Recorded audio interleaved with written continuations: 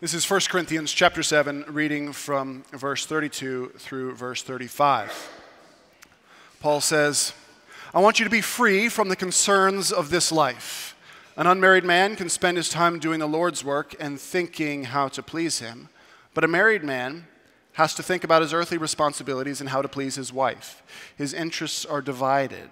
In the same way, a woman who's no longer married or has never been married can be devoted to the Lord and holy in body and in spirit.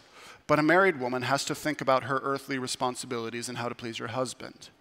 I'm saying this for your benefit, not to place restrictions on you. I want you to do whatever will help you serve the Lord best with as few distractions as possible. Our second reading comes from Romans chapter 12, uh, verses 9 through 13. Don't just pretend to love others, really love them. Hate what is wrong, hold tightly to what is good, love each other with genuine affection, and take delight in honoring each other. Never be lazy, but work hard and serve the Lord enthusiastically. Rejoice in our confident hope, be patient in trouble, and keep on praying. When God's people are in need, be ready to help them. Always be eager to practice hospitality. Let me pray. Father, would you be with us this morning by your Spirit? Uh, help me to speak words um, of life and hope from your word for your people uh, this morning to comfort us, to encourage us, to uh, help us to go deeper uh, into the life of God uh, among us. We pray this in Jesus' name. Amen. Before I begin, I want to give a shout out uh, to many of you singles uh, here who have shared with me some of your stories um, and your resources. And this morning, when I share your stories uh, and have your OKCupid profiles on the screen, I will redact your name. Just kidding. Wouldn't that be terrible? Uh, especially a shout out to uh, Laura Michael, who herself is becoming um, quite a uh, significant voice in the world of, of dating and uh, Christian dating and Christian singleness. Uh, she blogs and grams at Just Beautifully Honest, and she was a great help in pointing me to some resources. I want to begin this morning with an essay um, by, an excerpt from an essay by Carrie English that appeared in the Boston Globe a few years back. Many of us can relate to her experience. She says, in the vows they wrote, the bride and groom gushed about how lucky they were to have found someone who loved them unconditionally, someone who made any place home, someone who was their best friend. And I stood there under the flower covered gazebo thinking, why not me? I was thinking, she loves me unconditionally. The house we shared always felt like home. And I thought we were best friends. Surely I can't be the only person who feels like weddings are a bit of a rejection. Two people announcing in public that they love each other more than they love you. Don't get me wrong, I love weddings, she says. I really do. I may not have a serious boyfriend right now, but I'm still a red blooded American woman. I can happily spend hours debating wrist corsages versus pin corsages, Vera Wang versus Monique Lhuillier. The fact that I can spell Monique Lhuillier proves my point. How can anyone dislike a custom that involves dressing up, eating cake, and dancing to Journey? There's no denying that weddings change friendships forever priorities have been declared in public. She'll be there for him in sickness and in health. Till death do they part. She'll be there for you on your birthday and when he has to work late. Being platonically dumped wouldn't be so bad if people would acknowledge you have the right to be platonically heartbroken. But it's not just part of our vocabulary. However much our society may pay lip service to friendship, the fact remains that the only love it considers important, important enough to merit a public declar- celebration, is romantic love. That's Carrie English, A Bridesmaid's Lament. When I was working in young adult ministry at a previous church, Probably the book that I recommended most to young adults and to some of their parents was by psychologist Meg Jay entitled The Defining Decade. She's not writing as a Christian, and to be honest, in many cases, that's really helpful because she provides uh, reasonable, rational, data driven rationales for many of the same things that we Christians are used to only hearing in moral categories. She talks about the age 30 deadline, uh, that unspoken cultural pact we have that certain milestones will be achieved by age 30. She says, In my experience, the age 30 deadline is more of an age 30 bait and switch. Everything that was okay at 29 suddenly feels awful, and in an instant, we feel behind. Almost overnight, commitment changes from being something for later to being something for yesterday. Marriage goes from being something we'll worry about at 30 to being something we want at 30. When then is the time to really think about partnership? This sudden shift can lead to all kinds of trouble. In short, that the trouble, this sudden shift from it's not that significant to it's suddenly urgent, the main trouble is that it limits intentionality. That overnight change can cause panic and it leads people out of anxiety to attempt to find something, really someone, that sticks and quick. Today's our uh, second to last Sunday in this series on Christian friendship. Today we're looking at friendship and dating. Can't really talk about dating without talking about singleness. And next week, my good friend, Pastor Ryan Casey from Horizon Church, is going to be speaking on singleness.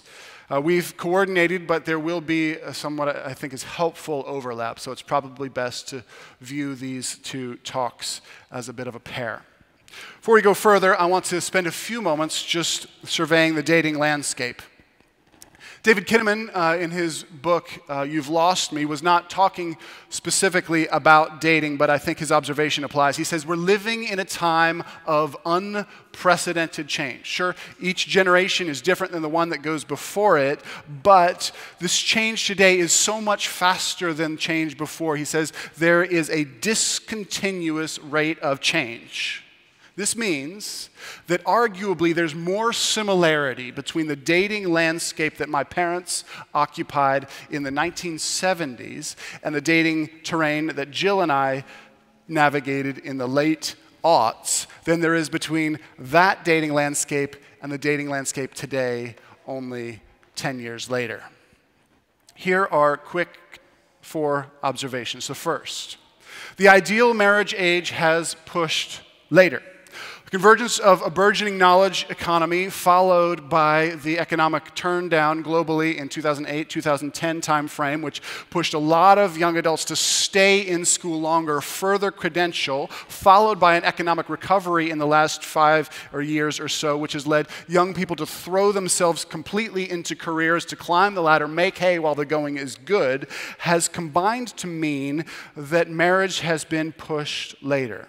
This, of course, isn't the first time in history that it's happened, but many young people today begin the serious quest of dating toward marriage later when they and their peers are more solidly situated in a career, more solidly rooted in responsibilities, and when you are more personally formed all of these are good things, but their net effect is less flexibility than prior generations. According to a 2018 article in Women's Health magazine, based on the latest census data, the average marriage age in the United States today is the latest it's ever been.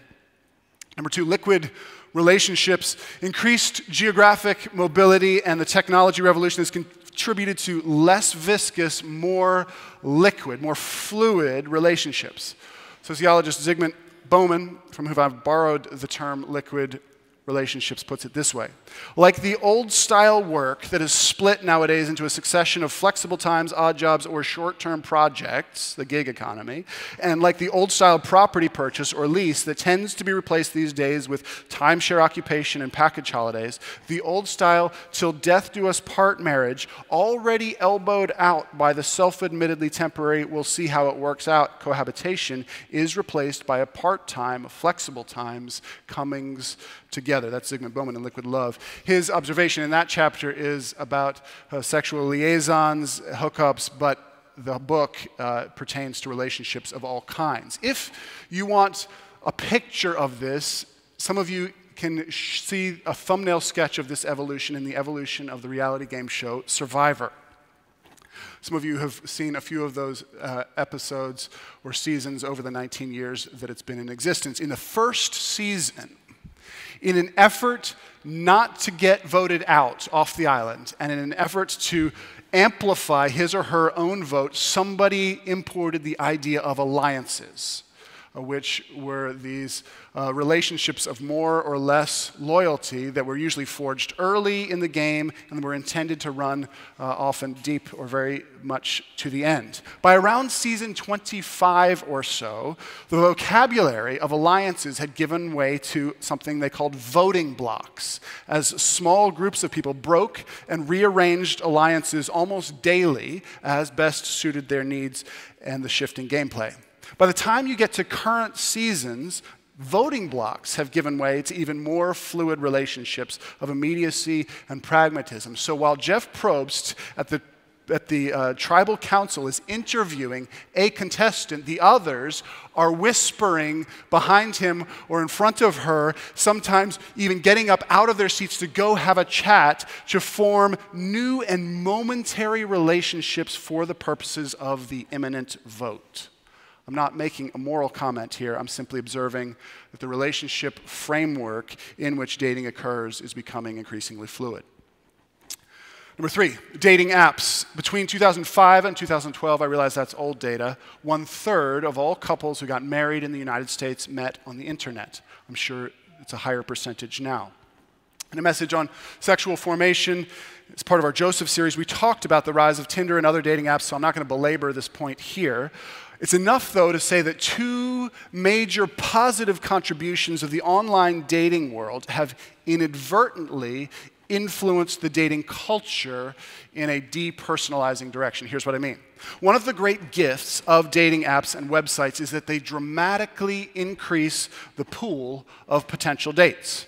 Aziz Ansari, in his book Modern Romance, says one gentleman we interviewed said he was overwhelmed by the enormous number of single women who were suddenly accessible. I was literally addicted to it, he recounted. Particularly if you're a Christian hoping to marry another follower of Jesus and therefore committed to only dating other Christians, this is really helpful. Otherwise, your options are like the three guys in your small group, one of whom you've already dated, the other who's dating your best friend, and then the other guy. So, the increased access of dating websites is a net positive. Also, the increased efficiency of sorting on dating apps and websites is really helpful.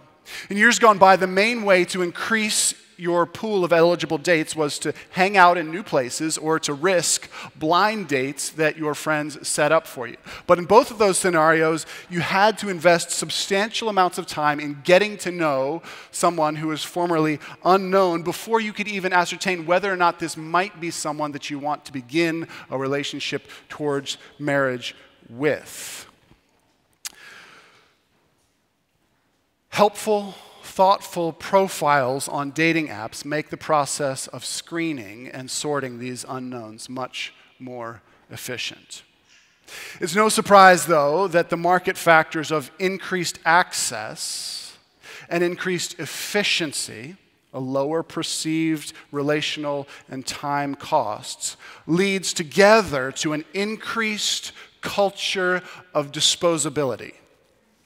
Ansari interviews one woman who recalled being so hooked on Tinder that as she was on her way to a date, she was swiping to see if there was another more attractive guy out there to meet up with her in case her existing date was a bust. This unintended byproduct, a cultural depersonalization of other bearers of the image of God, is one of the more damaging features of the current dating landscape. Number four. We're almost done with the survey. Shrinking live pools for Christians. Three features I've outlined so far obtain equally for Christians and not yet Christians. This last feature is particularly poignant and drives much of the anxiety for Christians. The live dating pools are shrinking. The failure of the church, of church leaders like me, to lead a next generation deep into the life of Jesus has contributed to a mass exodus of millennials and iGeners from many churches. So today there are simply fewer self identifying Christians to date. Add to that fact that in post Christian urban centers like Baltimore, most new churches look a lot like St. Mo's small. And that means that the number of dateable Christian men or women with whom you are in regular contact is much smaller than yesteryear of 300 uh, strong singles ministries. The crunch is even more acute for women. Churches tend to have more women than men, and although leadership positions are often occupied by men, the women are, in general, anecdotally more committed in attending. Sam did some preliminary demographic work on our database in Slack, and here at St. Mo's, single women outnumber single men roughly two to one. In many churches, the gender imbalance is closer to seven or eight to one. So, women, you're in the right church. Men, invite your friends. I take the time to share this, not because I think it's anything to be anxious or depressed about, but because we are a church family. And those of us who are not in the current dating landscape cannot adequately be empathetic and cannot adequately be prayerful for those of us who are in the dating landscape unless we are giving time to understand it and if we're not just assuming that it's the same as when we were dating. And for those of you who are in the dating landscape just now, this picture shouldn't evoke anxiety for you, but I hope it does elicit real intentionality. I want to go now to our first teaching text, and then we'll draw the second in later in a moment when we move to practicalities. Here it is again, 1 Corinthians chapter 7, 32 through 35.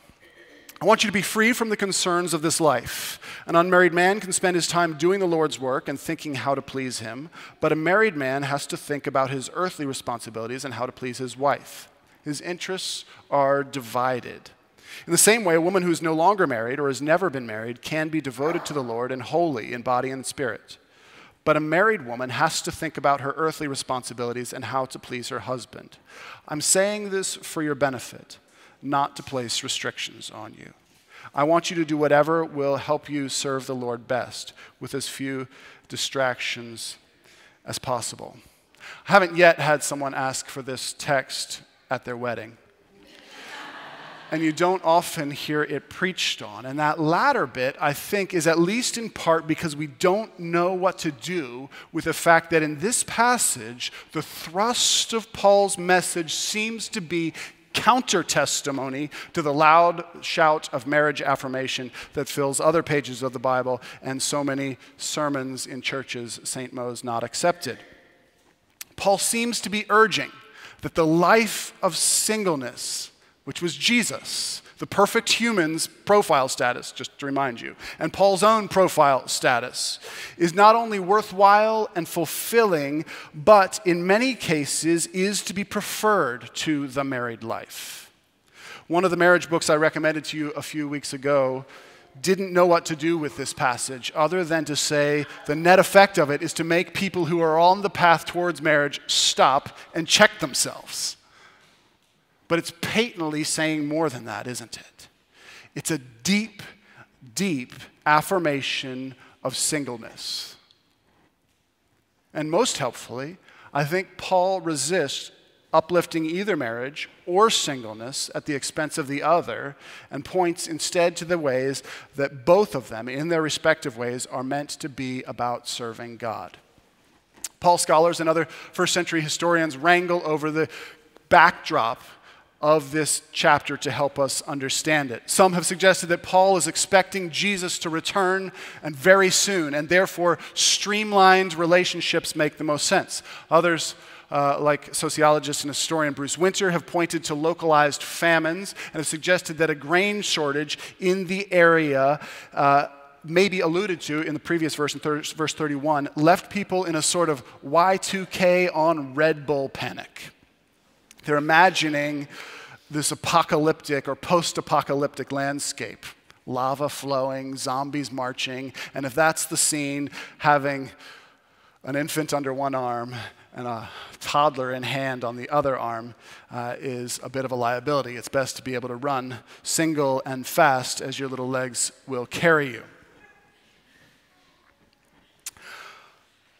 But given that we can't verify all that, uh, I'm not sure that that latter interpretation is fully justified.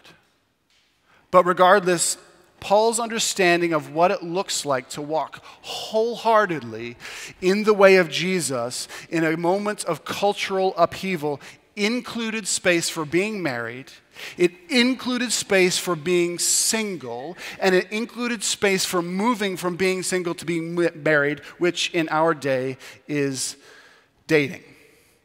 Furthermore, he leaves room for there being reasons not to get married, even if the cultural momentum and your own desires are toward marriage. For New Testament scholar Wesley Hill and others like Vaughan Roberts, pastor of St. Ebbe's in Oxford, this is precisely the quandary they arrived in. Both of these men found themselves to be sexually and romantically attracted primarily to other men. And perhaps this is your experience.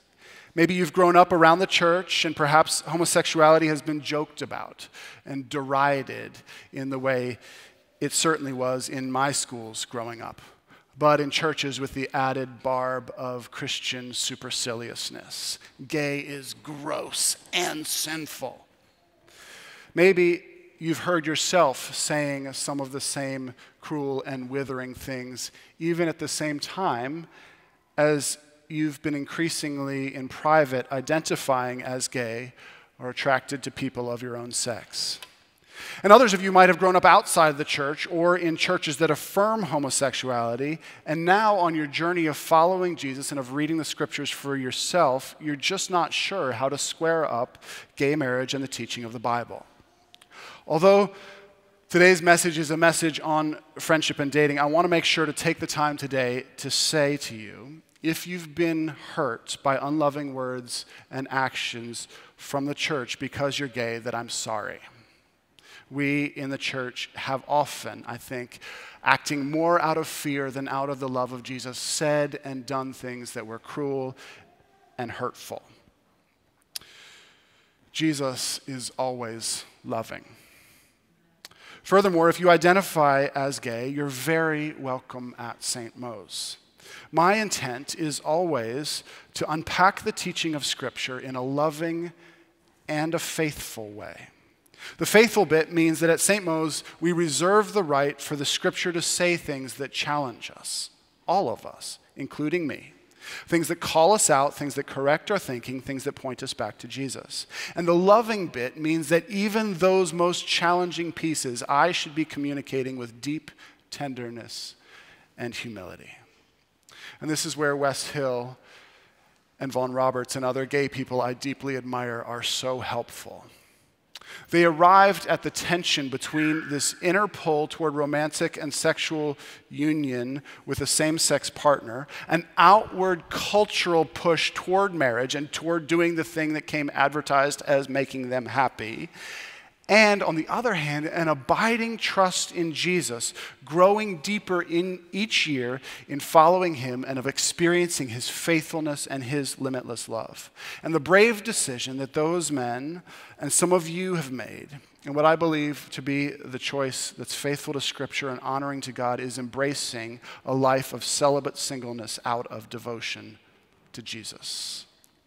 And one of the factors that makes this choice even more painful is what we've been talking about in this series.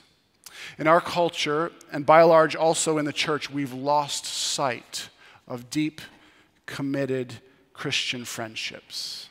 And this means that for gay people who are committed to following Jesus in their celibacy, it often feels like choosing to follow Jesus is also choosing to sign up for a life without deep relating to any other human. And that's a false choice. And we as the church family must repent from setting the table that way. And we have to work to recover a wider and a deeper imagining of Christian friendships, in part out of love for our gay brothers and sisters in Christ. And here, I want to point you to Wes Hill's little gem of a book, Spiritual Friendship Finding Love in the Church as a Celibate Gay Christian. He writes faithfully, deeply, beautifully, and after Julie Canlis, he was the most helpful individual to me in this whole series on friendship.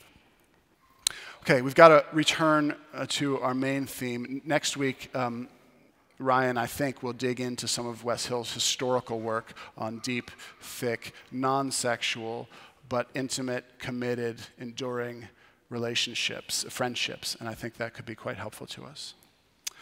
To my mind, there are two um, undercurrents to avoid in Christian dating, if you're into uh, Greek mythology, a, a Scylla and a Charybdis, if you will. The first one is to idolize marriage. That is, as a single person dating, to imagine marriage and your spouse will be your fulfillment. Your, we don't need the graphic just yet. Your answer, your completion. You're laughing at my graphic. It was, it was, it was strong. You're fantas- fantasizing about your marriage and about your spouse that runs the risk of dislocating you from yourself right now as you live in an imaginary future with an imaginary perfect spouse. That's one undercurrent. The other is to idolize freedom. You think you probably want to get married, you enjoy dating, but once a relationship starts to grow roots, or once the other person begins to have expectations, expressed or unexpressed, legitimate or illegitimate, you begin to get a little itchy on the soles of your feet because you're worried that your fulfillment is short roped to your freedom. More than anything, you want to be unconstrained. Okay, you can put up my awesome drawing now. Both of these tendencies you might have noticed already are just flip sides of the same coin of self actualization within the context of dating. And when they've both developed a head of steam, they have the caustic power of objectification. In the first, idolizing marriage, we depersonalize our partner as an object of romantic fantasy. And in the other one, where we're idolizing our freedom, being unconstrained, we depersonalize our partner as an object of personal pleasure. And it's here that deep Christian friendships come into their own in dating. Here's the first way, and this is drawing on 1 Corinthians 7 reading.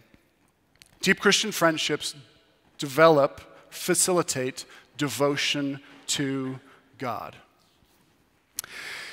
Even greater sometimes than the feeling of loneliness, that empty feeling, if you're single, is the turgor pressure, the inward pressure pushing out of having love to give and no one to give it to.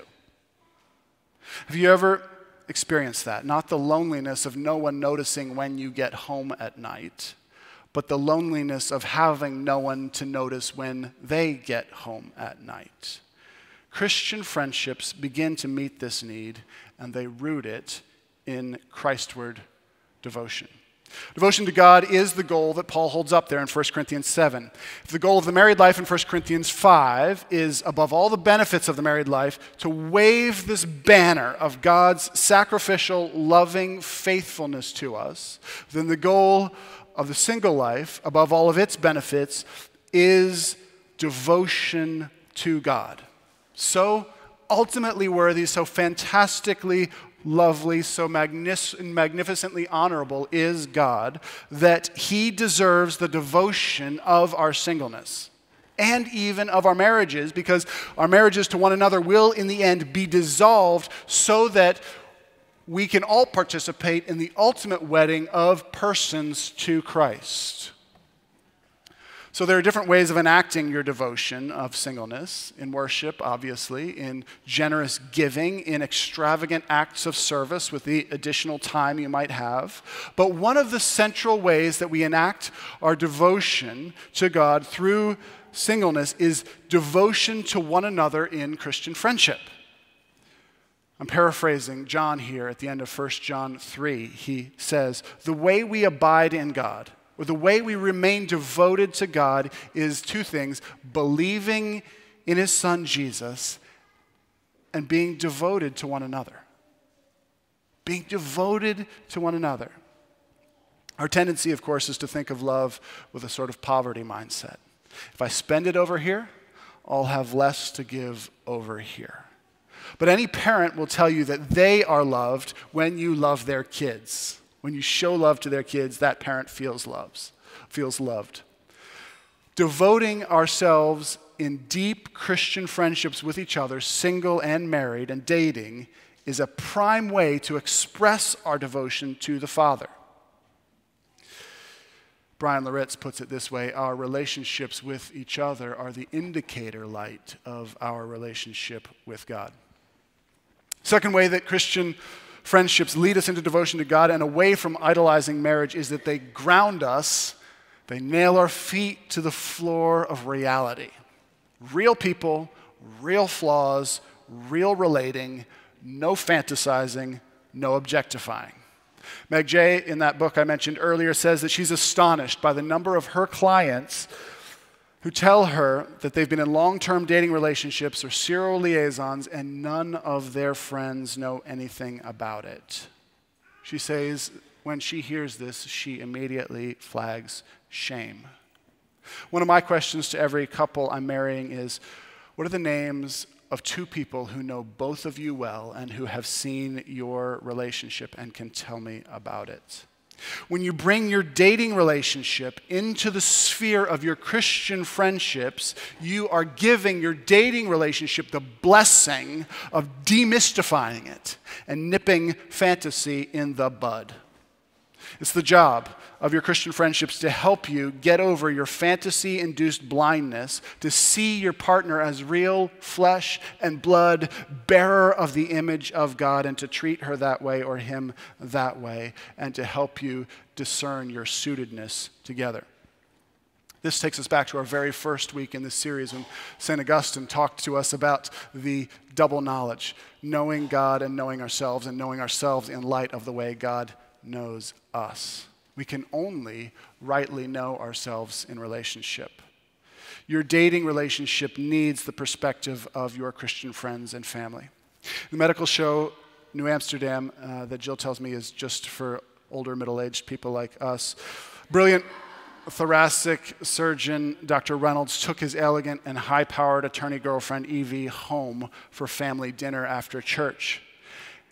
And he sees this moment alone in the kitchen with his mom when he asked her for the family ring to propose to Evie. And his mom's insight was so poignant. She said, She's the perfect woman, just not the perfect woman for you.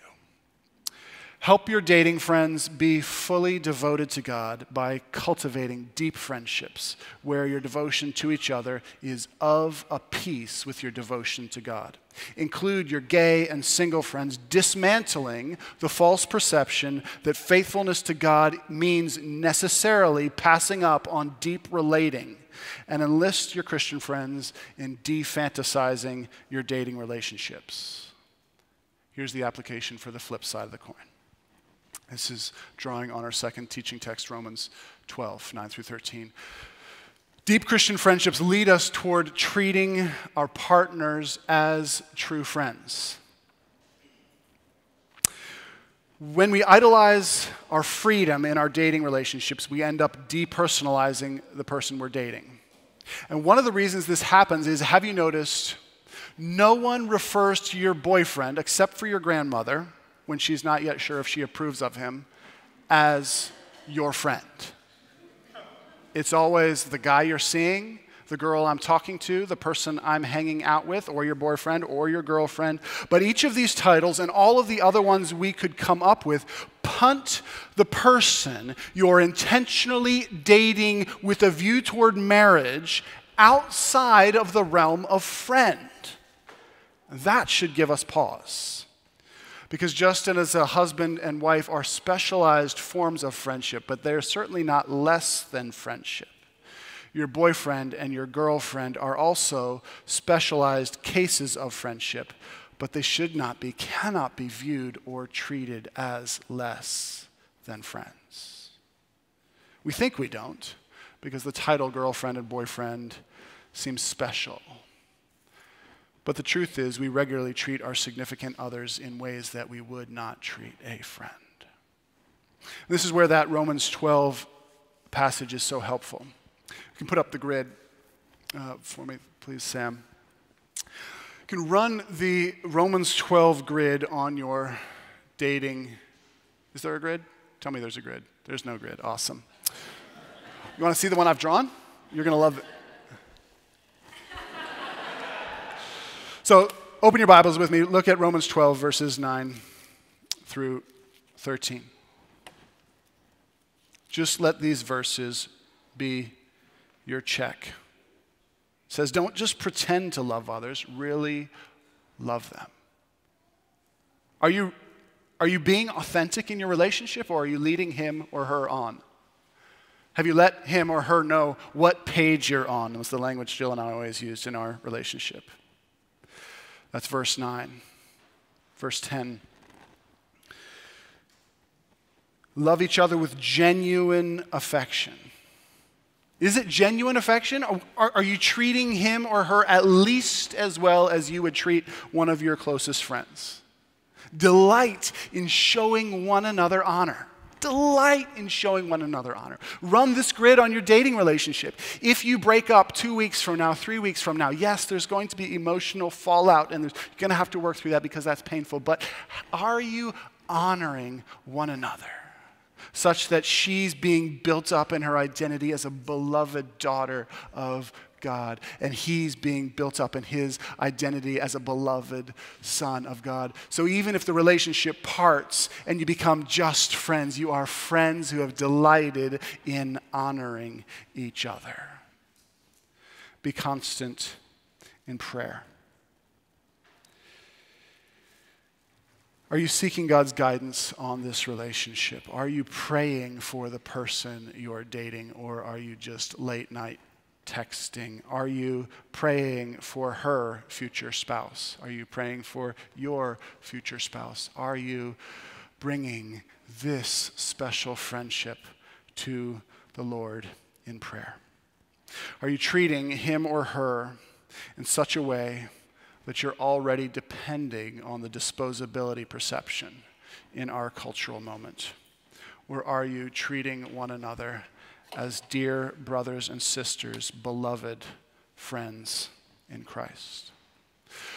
The way that people move from singleness to marriage varies across the centuries and across the cultures, and we're in a particular cultural moment with all of its advantages and all of its disadvantages. But by my perception, today, if you are dating and committed to dating in a way that is faithful to Jesus and loving to others, or if you are single today and are committed to being celibate and single today in a way that is faithful to Jesus and loving to others, you are going to stand out as a bit of a contrast in a society that is marked by unprecedented levels of narcissism, of utilitarianism, of individualism, and isolation.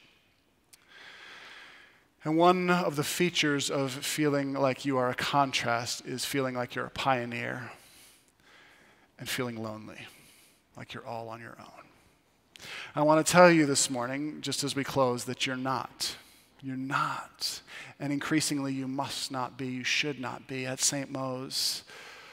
As we lean on the resources of the Bible and of church history and beg God's help in developing thick, deep, abiding, intimate, committed Christian friendships between single people and married people, and married people and single people, and gay people and straight people, men and women. We provide a family in which you are seen and known and supported, even as you are doing these brave, brave, often difficult, and seemingly lonely things. I want to close by just praying a prayer of blessing uh, over those of you who are dating right now. And I hope, again, that you don't feel anxiety around this, but that instead you feel known and loved and deeply dependent on God as the one who is your source. Let me pray, and then uh, Pastor Sam can come up and lead us into communion. Father, as a church family, we come here together before you. I know we've talked about some challenging things this morning that uh, might have landed different ways with different ones of us.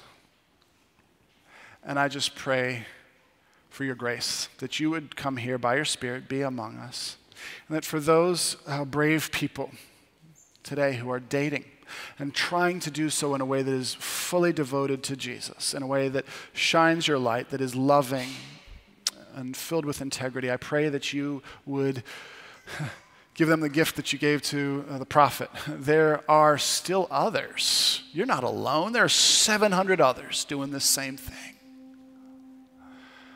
And for those who are single and uh, committed to singleness and to celibate singleness out of devotion for you, Father, I pray that you would give them courage and resilience and that you would provide, even in this church and beyond this church, deep, robust, life giving, upholding, fulfilling, nurturing, Jesus word friendships uh, with other single people and with married people and with people older and younger. Father, we pray.